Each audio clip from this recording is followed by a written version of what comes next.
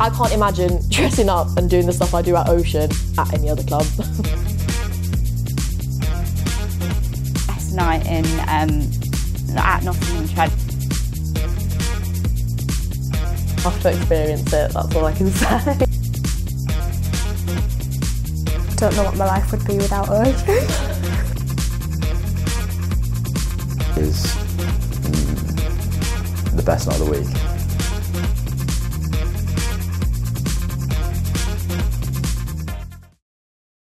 Ocean Nightclub. Love it or hate it, everyone's heard of it. For an outsider, this may just look like an old club, but for the students of Nottingham, it is so much more. It's only open two days a week, which are dedicated to both universities in the city. Wednesdays are for NTU and Fridays are for UON. Those who have heard of Ocean will also have heard of Andy the Hoe, who owns the club. Since taking over in 2008, he has become somewhat known as a local celebrity and makes regular appearances at the club, despite now living in Canada with his wife and children. My name is Andy. I am the owner of Ocean. Uh, it started here because I used to run the Friday that is here now, the uni night at um, Prism, uh, and I moved it down here many years ago, 2003, I think it was 21 years ago. So I moved the Friday here and then took over the club um, a few years later, about five years later, so 2008. Even after all these years, Ocean remains the place to be on a Wednesday night, making tickets difficult to get hold of. People desperately want to go, and obviously we've got a certain capacity that we're allowed to sell to. Um, and once we get there, we can't sell any more. So it's, it's just a supply and demand thing. I think people get scared that they're not going to be able to get a ticket, so they buy one quicker, so then they sell out quicker, and it's just a, a, a knock-on effect, you know. Nottingham Trent Student Radio Fly Live hosts the Big O Show as another way for listeners to win free tickets. Hello, everybody, and it is that time of the week again. That is right, it is the Big O Show, and in this this episode, we are giving away three tickets to Ocean of your choice with your friends. So it is very sought after. Ocean is a very sought after club. Um, so the ticket process, which I'm obviously a great person to ask because I've been the social sec, so I was in charge in year one and year two of getting the tickets for Ocean. So um, at 11 a.m. on a Friday, you will get um, they release the Ocean tickets. So you need to be there on your laptop refreshing at 10.59 to make sure that you can get those tickets and you can get either a book of 10 tickets or a book of 20 tickets for your society. I think you have to have something like 100 members in your society to get the 20 tickets. Um, so we always used to aim high and get the 20 tickets so we could have as many people from the society um, going as possible. Um, so then we'd get the tickets in, and sometimes I wouldn't be successful. It's hard, they go really quick. Once a ticket is secured, there's only one thing on everyone's mind, and that's costumes. From lifeguards to leprechauns, pirates to princesses, the possibilities are endless, and Ocean sees it all. And despite what some may think, the club have no input on what the theme is. Dressing up thing on a Wednesday has just always been a thing. Um, the Wednesday night's actually been here since before I started. It's uh, and the dressing up's just always been a thing. We've not sort of encouraged it, discouraged it. I, initially, I think it started where it was like a theme night and everyone used to dress the same and it's gradually morphed into the different societies and different teams go okay this is our theme that's their theme that's the and I, you know on, on, any given night you'll have you know a bunch of police people over there and you'll have a bunch of convicts over here and a, you know somebody else over there and lifeguards over there and it's sort of a, a bit of everything people people still message me now and they'll say what's the theme this week and I'm kind of like, I've got no idea. You you guys pick the themes, you know. You uh, you decide what you what you're wearing and what you're coming as, and it's kind of anything goes. I literally have bikini tops and everything in here, just cause. I don't know, like. oh, we did a water oh, fight. As well. Yeah, one of our plans is to do Gru of Minions. Yes. And we're gonna make. Dressing up is definitely like the main part of it. I don't think it would be half as fun if you didn't dress up. Um, my favourite outfit is Call Me. I think that's fair to say quite a lot of people's are, um, especially for dance, because like we're dancers. We get dress up in like dance wear. Yeah, I feel like if you're from Notts, because we have a few members from dance that are from Nottingham, so obviously they know about Ocean. Um, but when we did like the Christmas markets were happening and we were walking through literally in like a mini skirt and like a top, we did get a few stares, but I feel like people are so used to it now because obviously Ocean's been running for so long that it's we don't get that many weird looks. It's more just like when we cause havoc. The cheesy music of the night makes a club like no other and keeps the Trent students coming back for more.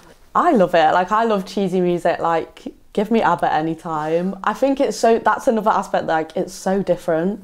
You don't get those silly songs like the Baywatch song. You don't get that played in any other club. Um, I think that's probably what makes it so iconic. Like you're not going to get that anywhere else. One of its most popular themes is Baywatch, and the tradition of playing the show's theme song each week caught the attention from one famous lifeguard, the Hoff. I'm supposed to be in Ocean tonight. I can't make it. I'm really sorry. He was in town doing panto. Um, so I got hold of him and told him about this place. And obviously, we've got the whole Baywatch thing goes off where we play the theme and everyone takes the tops off and swings them around the head. And I said, I'll, I'll email you the video. So I emailed him some videos and he basically replied and said, I'm going to come down. So we didn't tell anyone he was coming. We just brought him in. And again, we snuck him in and he actually went up on the balcony there and hid behind the screen. And we'd recorded a video of him saying he was sorry that he couldn't be here. He'd, he'd, he was in town, but he couldn't make it. And then sort of raised the screen up as he was, as the video was saying it, and he's behind the screen, and everyone just went absolutely mental. I've never seen anything like it. It's the best sort of club experience. He's done a few of those kind of gigs where he's been to clubs. He said it was the best one he's ever done. Before the club even opens, ocean goers must tackle the iconic bar crawl. The first stop of the night is at pre-drinks. Popular NTU Society, Trent Beer, start their bar crawl four hours before the club even opens. So normally we'll have a big prees. There's normally about 80 of us or so at prees, and then we'll go to Route One around um, 7:15, um, and then we'll go to Kooks at eight, um, Osbar at 8:45, uh, 9:30 we'll be at um, Icon, and then we will go to Bierkeller at 10.15, depending on whether you've got an ocean ticket before like uh, 10.30 or 10.45 or whatever. So it basically all, all depends on that. But yeah, no, normally numbers do like drop off towards the end though. So you always have the stragglers that never make it or, or whatever, but yeah, no, it's good. For those still standing after conquering the bar crawl, it's time for the main event. The crown jewel of the night, it's ocean time. Tonight's a special night because Andy's in town and everyone wants a photo with the king of the ocean. And these starstruck students won't let him get away easily. Sometimes I sneak in and nobody sees me, but it's it's kind of what I'll come out of the office and somebody will stop me and I'll talk to them and they might say, "Oh, come have a picture with us." I'll, I'll stand and then somebody else sees that happening, so then they come over and then somebody else, and it's kind of a, a knock-on effect. So it can take me like half an hour to walk like 100 yards or so, you know, because I get stopped every every few feet and talk to people and have pictures and things. So, but yeah, it's uh, I do find it strange, like I said, but I don't mind. I talk to I talk to everyone, you know. People loll all over me and hang off me for pictures, and you know, it's uh, it's strange. And it's not just Andy that gets all the attention. Ocean has reached far beyond the city and become very popular on social media all over the country. People take to all different platforms to share their outfits, antics, and outrageous rumours. Um, it's because we've never publicised or promoted the club to anywhere other than the two universities here. Uh, but now there's a lot of people, like, you know, people at Trent that have got friends from home who know about Ocean before maybe they even, you know, their friend even came to Trent just because they've heard of it through through TikTok or something. You know, which is good, but it makes a lot of, you know, a lot of people want to bring their friends from home because they've heard about it and, you know, want to come and see if the carpet really does have chlamydia. Can you confirm or deny does the carpet have chlamydia? I can confirm it doesn't. It's, it actually relates back to a story when we had a, the carpet replaced um, a few years ago.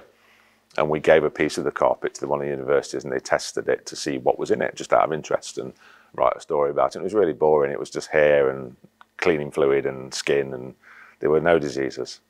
but it, that that's kind of morphed into it was the fact was that we'd had the carpet tested to see what was in it, and that's now morphed into the carpet was tested in it and it's got chlamydia over the years. So I don't know, maybe it has now. I don't know.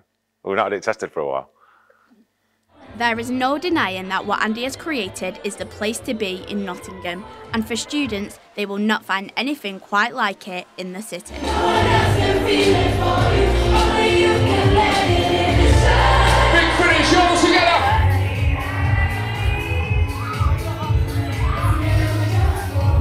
I've not changed a thing in the 16 years I've been in charge. I think if you changed this place, you'd ruin it.